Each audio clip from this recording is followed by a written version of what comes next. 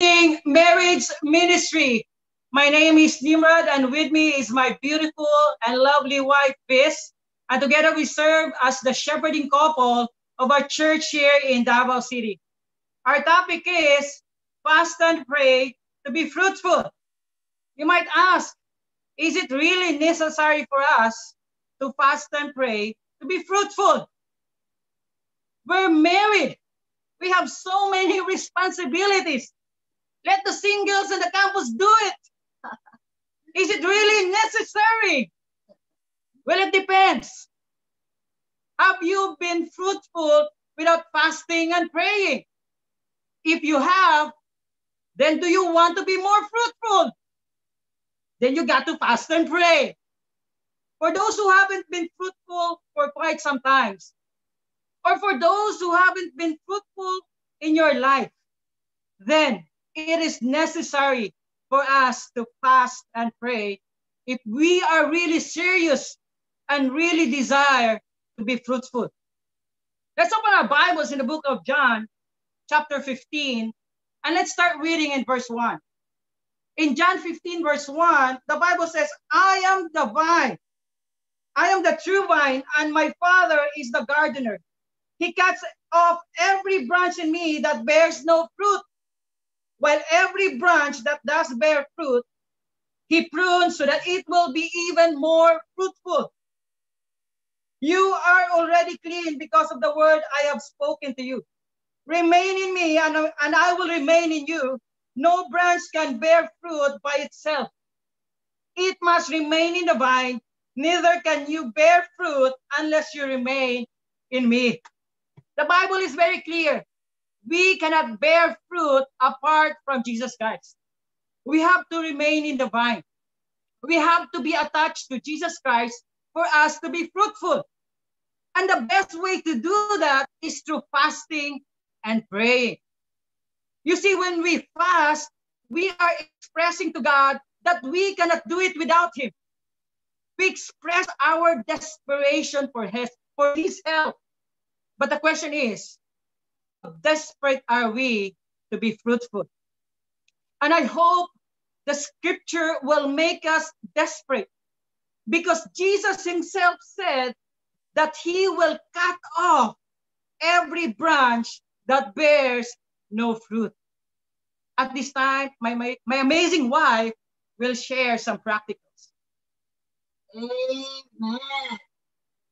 Often in the Bible, God's people fasted right before a major victory, a miracle, or answer to prayer.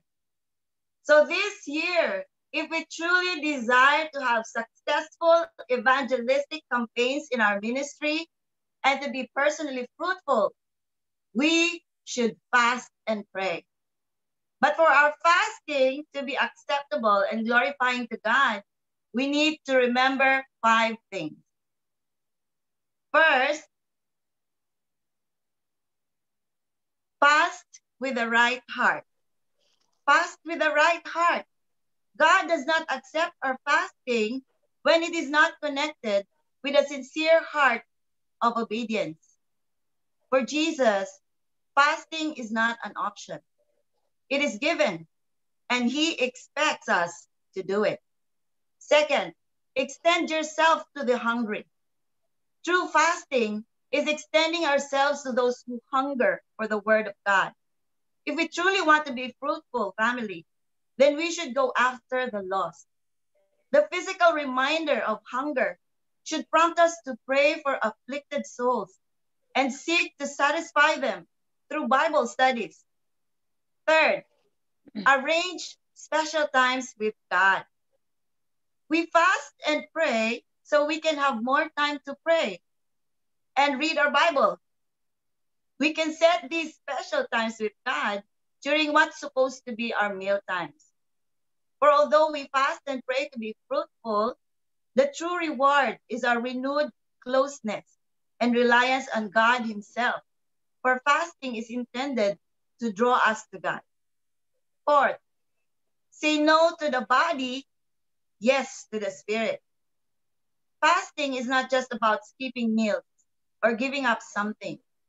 It is about what we do with the time we would have spent eating or recreating. To fast and pray is really about replacing things that satisfy us physically with what God wants us to do for a time and a specific purpose. And fifth, target of the enemy. Let us be aware, family, that the enemy makes eh, the enemy makes us a great target when do, when we do all this, because he knows that fasting is the most powerful of all Christian disciplines, and that Satan does not want us to grow in our faith this year. So, if we take the first letter of each practical or challenge, it spells peace. This year of mountain moving faith, let us feast on the Lord Himself, for only through remaining in Jesus can we bear much fruit, and together as Amen. a ministry, feast on the great harvest. Amen. To God be the glory. Amen.